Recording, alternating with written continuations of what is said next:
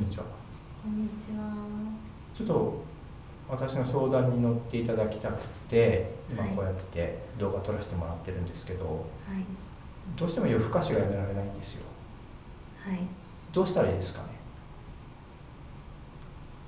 はい。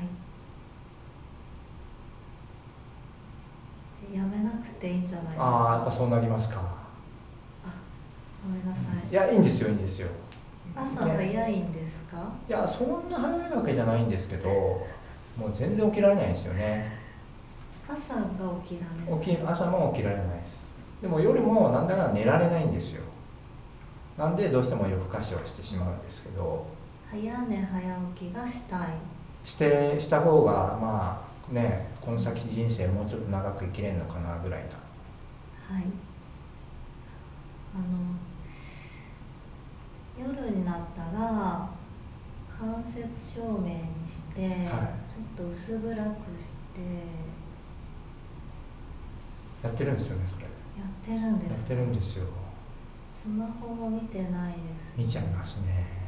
はい。それは全部やらなきゃダメですか？ねって言われてますね。ねえ。ちなみに相沢さんは夜は早いんですか？遅いんですか？遅いです。あ遅いんですか。はい全然早く寝ようとかそういうのはないですか？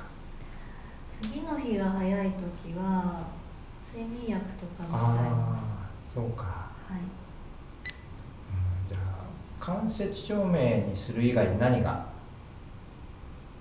とお風呂に入る。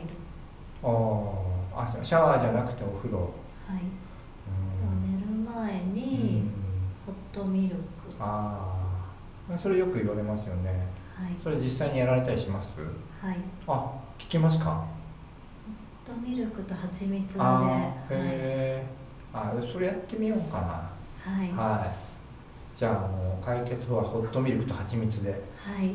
お願いします、どうもありがとうございました。あいえいえ